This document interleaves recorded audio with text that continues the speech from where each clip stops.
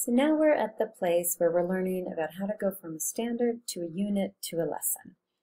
Um, and then we always, well, one of the reasons we do this is because we know that there's an achievement gap. So if we don't start where our students are and when we're planning, then we could be actually um, missing some, some pretty important steps on helping them get to the final place, which is um, meeting the learning objectives and the um, the Common Core standards for the state and everything. Um, so we, of course, plan our instruction based on anal our analysis of student needs. Um, we then create some sort of unit, and then from the unit, we start working on our lesson plans. So this is a nice graph of the, let me just move this down a little bit, whoops. Um, a nice graph of the um, achievement, oof, the achievement gap. And down here it says grade in school, and this is achievement in grade. You can see to start out with first, second grade, everyone seems to be doing really well. And then what ends up happening is that you would think that on the seventh grade, you would be at the seventh grade of performance.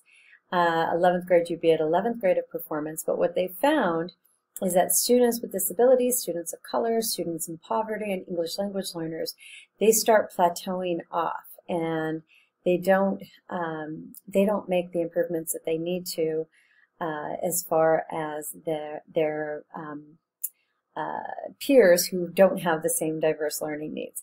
And so it's our job as teachers to help uh, make this gap smaller. And so how do we do that? Well, one way is to create a unit plan. So I'm going to go back to, um, and in the unit plan there's these uh, five major pieces. So one is a class profile, another one's an environmental assessment, taking a look at the curriculum and resources, coming up with some goals, and then of course the task analysis, um, assessments and strategies that you're going to use. So you start out and you say, okay, hmm, I teach fourth grade. So I've just pulled up, for this example, I'm looking at the um, social studies uh, framework, social sciences framework for uh, California public schools. Now just so you know, they are redoing this, but you can go through and I actually had this all done, but so now I've skipped to grade four, and you can see grade four is about California, a changing state. And now I've skipped even further down and it goes through and gives you a little narrative about the expectations of grade four in California. And so we've got the physical settings, we've got exploration, and then they go through and they give you the actual standards. So here's standard 4.1, and you can see that there's five sections to standard 4.1. So that's where I started in my unit plan was I first looked at my class profile. So here we go. We've got the class profile.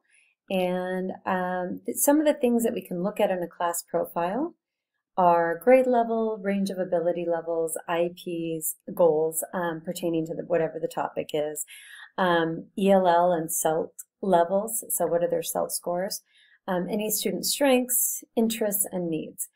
And this is just an example that I um, created. And basically we've got Miss Jones, she's a fourth grade teacher, 29 students, seven have disabilities, four are English language learners with a CELDT score of four. I actually list out the disabilities that each one has. Talk about the strengths um, that they actually do well with cooperative groups. Um, 22 of the 29 do well. Um, they can use search engines, so 25 of them can do that. They have oral presentation skills. Um, they some need or some uh, write with appropriate grammar and spelling. That's about 12, so it's a little bit low. Um, 10 of them have low vocabulary, and um, and six of them have difficulty working independently.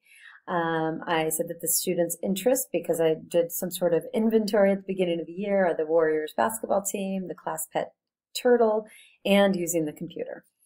Um, then you take a look at their environmental, um, uh, the environmental assessment in your classroom, and this could be any resources available, support staff, and also the setup of the room, the physical setup of the room. So once again, we're with Mrs. Jones um, in the fourth grade classroom. Um, it says it's typical of an elementary school in a district four computers available for the teacher and student. These computers have internet connection and are equipped with standard software for word processing, spreadsheet manipulation, and graphic processing. The desks are set up in groups of five with one group of four, uh, which allow for stations, and there's two para educators in the room most of the time. However, one of the para is assigned to the student with ASD, Autism Spectrum Disorder. Next is a curriculum um, resources. So this is what has the district adopted, any sort of supplemental materials, and any online programs. So um, I said the district uses the adopted um, California um, uh, state standards, the Common Core standards, um, that they have a social studies, a district adopted social studies textbook, and that there's also supplemental readings for grades one through six and they have access to multiple free online programs and leveled reading. Here's some goals. So I actually just pulled out right from here the California Standard 4.1. So there's Standard 4.1 with all five of the little sections. And then um, you should also think about language goals, especially with uh, English language learners um, and students with special needs or diverse needs um, they often need additional support um, around language. So here, uh, the students are working on vocabulary development, reading, writing, speaking, and listening. And the vocabulary development is being done through a word wall. Um, there's supplemental, leveled supplemental readings um, to help them with their reading levels, um, sentence starters and graphic organizers to help them with writing, and they also do presentations and give feedback, um, and that's where they practice their speaking and listening. Um, so next is the uh, task analysis.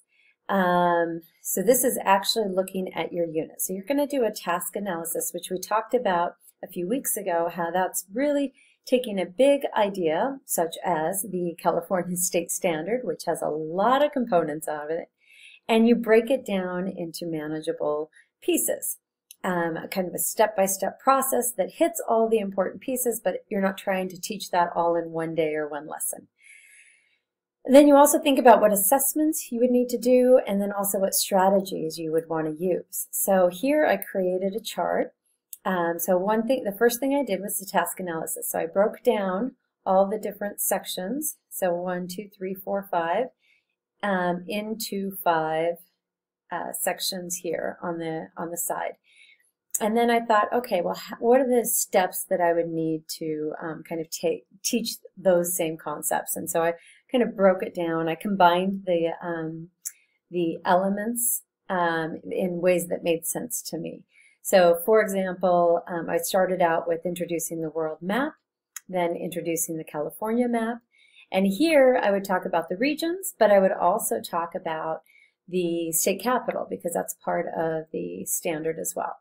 Um, and then I would have them label, you know, like the Pacific Ocean, some major rivers, valleys, mountain passes maybe. And so once I know that they have a visual concept of California, then I would move into them learning a little bit more about um, the different regions. And um, I went online as well to um, for creating a map, and you can use uh, scribblemaps.com. And then I found out that Napa Museum, uh, Napa Valley Museum, actually offers Napa Museum in the classroom where you can order um, these units that address the state standards um, to support your students in learning, and they have different artifacts uh, for the different topics. Um, I also looked at, okay, well, if they were able to um, create or, or learn from that, and I could see them as far as an assessment goes, creating a graphic organizer, then if they had to write a thank you letter, kind of pulling out the important information, that that would be a good demonstration. Next, um, I had them do a graphic organizer um, for understanding the geographical elements. We have a lot of um, writing out there that uh, goes over these different things. So um, and some of the strategies would be like leveled homogeneous reading groups, um, you know, the graphic organizer, like I mentioned, um, you know, uh, relating things to your background knowledge, um, or creating, um, building background knowledge uh, in the classroom. And then, of course, we have the using the maps and charts and pictures to describe how communities in California vary in land use, vegetation, wildlife, etc. And um, some of the ways that we could do this is we could have all the students create a poster uh, for the different areas and you know providing examples and non-examples, resources, multiple resources, um, cutouts so that they aren't trying to create images um, uh, from scratch, but rather they're able to really focus on them. So next I went into the lesson plan. Now this is the lesson plan that um, that you are given to use um, from Touro. And so it's got all of these different sections in there that I'm not going to go into too deeply. Uh, but one thing I did add was the SIOP teaching strategies. Um, let me just move my face down there. Uh, the SIOP teaching strategies um, to help you think about these strategies as you're writing your lesson plan. Um, and also remember to include the technology um, in your plan as well. The other piece um, that we would go into, and I want to make sure that you're familiar with, is the summarize of the lesson, anticipated difficulties, and plans to reduce these difficulties. Uh, this is important because this class is about making sure that everyone's included. Then we have the intro through and beyond. Um, and here you'll notice the adaptations. Um, and then, of course, the reflection. Now, you won't be able to do this until you've actually implemented your lesson plan, but it's still really helpful to have. Uh, so what I've done for you is I actually created an example lesson plan. Let me just pull this all the way up that I have attached here. And you can see it's for social studies. It is grade four, understanding the California map. Uh, it'll be about 60 minutes, so it could be one or two days, depending on um, your students. Um, I have just the first part of the, um, I have the standard here, but I'm only really looking for this unit, uh, or for this lesson, I'm only looking at one of the areas, which was getting to know the state capital and also describe the regions.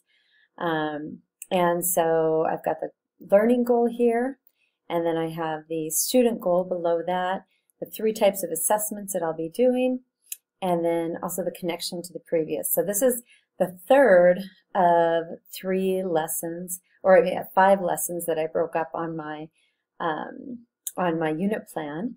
And so this is the third lesson. So um, I have my instructional materials, and I've checked just in, with an X the different um, SIOP teaching strategies that I'll be using. Uh, for here, I've summarized the lesson in one sentence. Basically, students will identify the state capital and regions in California, that's whole group. They'll add vocabulary to the wall. They'll complete a graphic organizer on the geology um, and information they find out about the regions, that's small group, and then they will write a thank you letter to the museum, and that's individualized. Um, as I mentioned, here's the anticipated difficulties and the plan to reduce those difficulties. And then I went through and I created my lesson. And I'm not going to go through this too much, but just uh, you have you have it uh, PDFed in this unit. But you can see that I kind of went through and broke down the um, intro, the um, through, and then the beyond. I said how I would be helping my students and coming up with different things. And of course, as I mentioned, you would have to do the post uh, lesson reflection later. Um, so this basically takes you through, and I have posted this um, sample um, lesson plan on uh, Touro or on Blackboard. So if you have any questions, please let me know. Um, I am always here to help you. Thank you.